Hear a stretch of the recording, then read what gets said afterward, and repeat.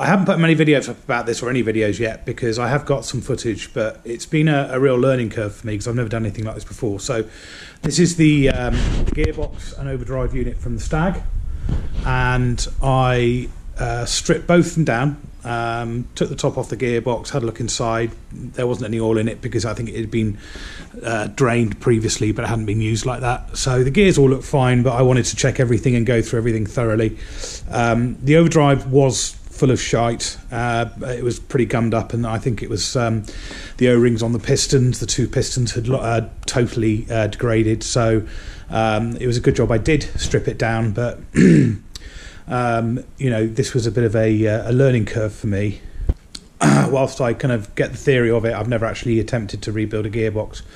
Um, but I had some help. Um, so YouTube, Elin Yakov, uh, great channel. Uh, Richard at Churchill, uh, Church House Classics, sorry, um, was there to give me advice when any, I had any questions. Uh, thank you, Richard. Thank you, Ellen. Um, the ROM helps, but is pretty uh, reliant, I think, uh, that you've been trained back in the 70s on all this stuff. So, what I've done, and the reason I've got you on handheld is because I need to be able to sort of show you what I've done. So, basically, I stripped the gearbox down, removed the top cover, um, removed the overdrive off the back. Um, there'll be some video footage of this anyway, but um, again, each step of the way, I was kind of feeling my way through it. Got everything out of the gearbox. Um, then I started to check some of the um, uh, some of the uh, the shimming and the the end float on the counter shaft, so that needed adjusting. Um, so I have fitted a spacer, which I've got some video of, which I'll um, I'll include, uh, which will already be up probably by the time this goes up. So um, so yeah, so uh, I had to um, sort out the end float on the counter shaft. Also, there was too much end float, uh, too much. Um, uh, too much of a gap on one side of the, the main shaft. So you sort of measure the, the bushes that go through the gears um, and make sure that they uh, are correct and that the, the, the, the there's not too much em- uh, uh, too much float on those. And I had to buy a slightly bigger shim um, to increase that uh, slightly because there was about 12 thou when there should have been about seven. Um, or maybe more than that actually. I think 15 thou. Um, so anyway, that's all been done. Um, the the overdrive, I stripped it down, bought a seal kit, completely replaced all the O-rings, um, pulled everything apart, cleaned it, uh, put it all back together again.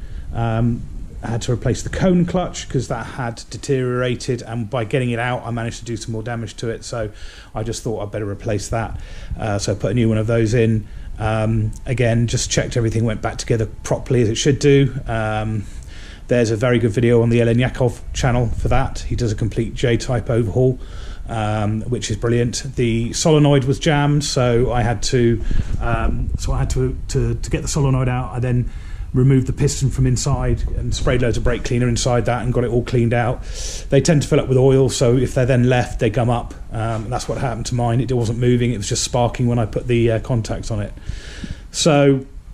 Um, yeah, so basically that's where I am. I'm at now. Obviously, with having done all this work, I had no idea whether I'd done it right. I didn't know whether it was going to work when I put it in the car, and I didn't want to risk putting it all back in the car without at least trying to see how things went, especially with the overdrive. So I bought this gauge, which I ordered from a guy in the US. Um, uh, camp, I think it is. Anyway, it's the right gauge with the right adapter for this fitting. They're not easy to find. Uh, goes up to 600 psi, and you're looking for around 500 with the Stag. Um, and the idea of this is to show when you engage the overdrive that the pressure increases around to 500 quite quickly, and when you disengage it, it drops off quite quickly um, because that means the overdrive should operate as it's designed uh, and work smoothly and, and, and, and, not sort of drag or, or to work slowly. So I bought on eBay for 35 quid. This was brand new, uh, single phase, and it's about 0.75 kilowatt motor, so just under a horsepower. Um, I got some taper lock pulleys, which just fit on there, and then I had a my local machine shop at Maynard's made me this adapter to then take one of the taper lock pulleys. I'm driving it from the back in fourth gear.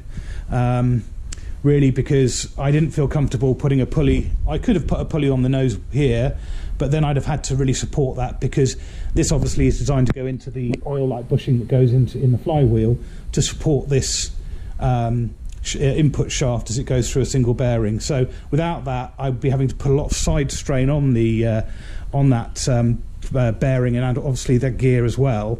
Uh, and I just felt that, that you know within fourth gear, you're straight through drive anyway, so it makes no odds whether you drive it from the front or the back. So I decided that this was going to be simpler and safer, and I've um, done a preliminary test run and it works. Haven't tried the overdrive yet, but um, uh, once I switch this on, you won't be able to hear me. So what I'm going to do is switch it on, let it run for a few seconds, make sure everything's running correctly. I'm going to leave it in fourth gear. Um, in fact, what I'll do is I'll put it in neutral. Uh, I'll leave it in fourth gear. Put it in fourth gear, start it up. I've got the power supply here set at 13.5 volts, and you can hear a nice solid click when you operate the solenoid. So that means that something's working inside that. So I'm going to keep an eye on the gauge and see how that goes. Obviously, I've just filled up with oil as well, Shell Spirax, um, and um, it might take a few seconds for it to pump up, but um, just that first time. But it has been run briefly already in fourth gear without doing the overdrive. So let's just see how this goes. Um, see if it uh, does what it's supposed to. Right. So you won't hear much from me anyway.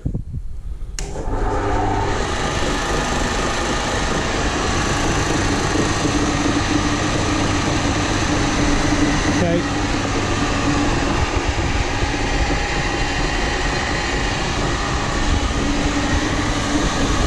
so here goes.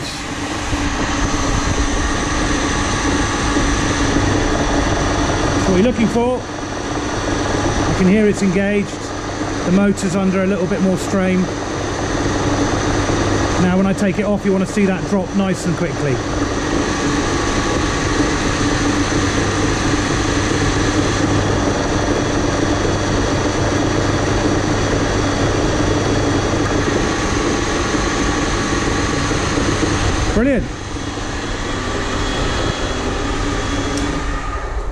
Well, I'm pretty happy with that. Uh, the overdrive's working. The pressure's around where it should be at 500 psi.